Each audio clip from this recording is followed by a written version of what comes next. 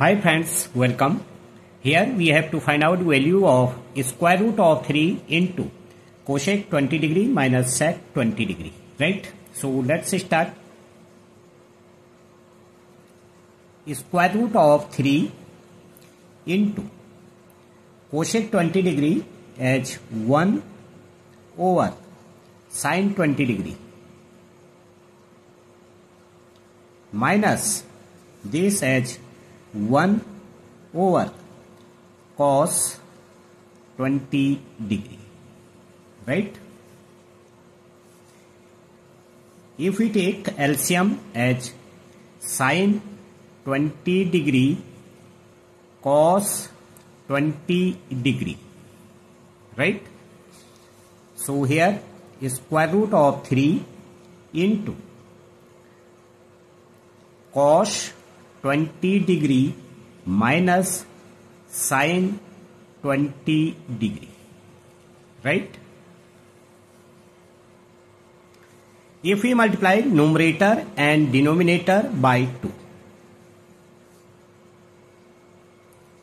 right so square root of 3 cos 20 degree minus sine 20 degree over sine 20 degree into cos 20 degree right now we can write this as 4 into square root of 3 over 2 cos 20 degree minus half sine sine 20 degree over 2 sine 20 degree cos 20 degree fine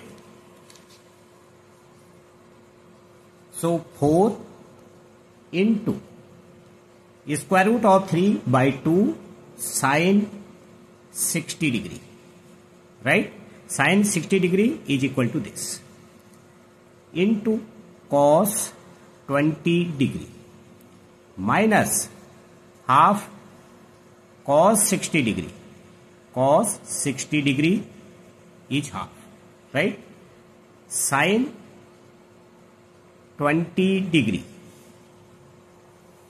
over this as sine 40 degree right because to sine theta cos theta is equal to sine 2 theta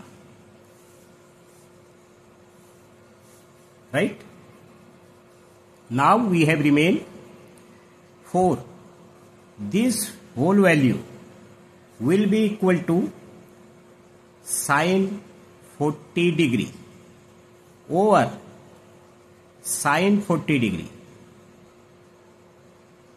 right because sine a plus b is equal to sine a cos b